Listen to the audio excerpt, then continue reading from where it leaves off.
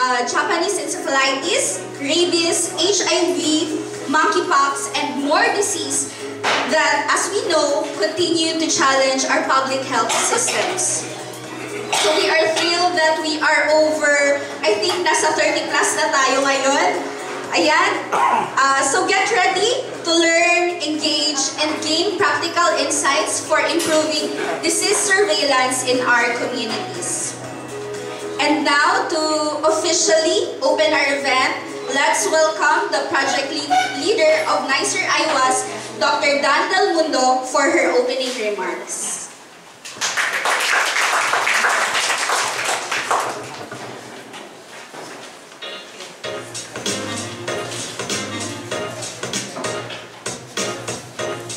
Hello, good morning everyone.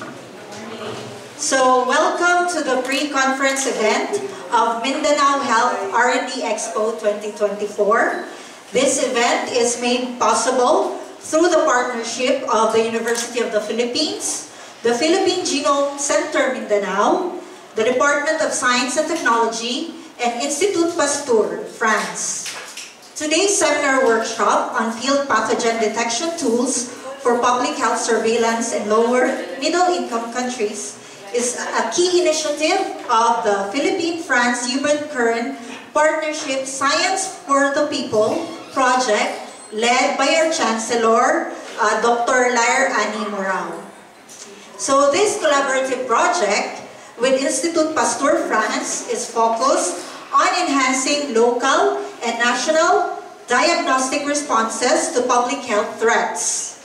This project is also an extension of the UP Mindanao NICER project on integrated wastewater-based epidemiology and data analytics for community-level pathogen surveillance and genetic tracking.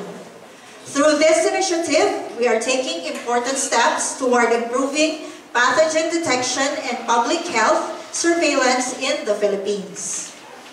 Today, we will explore alternative pathogen detection tools for field surveillance of infectious diseases such as dengue, Japanese encephalitis, HIV, monkeypox, and rabies. We are fortunate to have our distinguished uh, experts from Institut Pasteur, Dr. Richard, and Engineer Tom, as well as Dr. Murao from UP Mindanao, who will serve their knowledge uh, and insights. With your active participation, this event will also provide a platform to reflect on the current state of field surveillance in the Philippines and outline future directions. Once again, welcome to this important event. Your presence and participation will surely contribute to shaping the future of disease detection and public health in the Philippines. Thank you very much.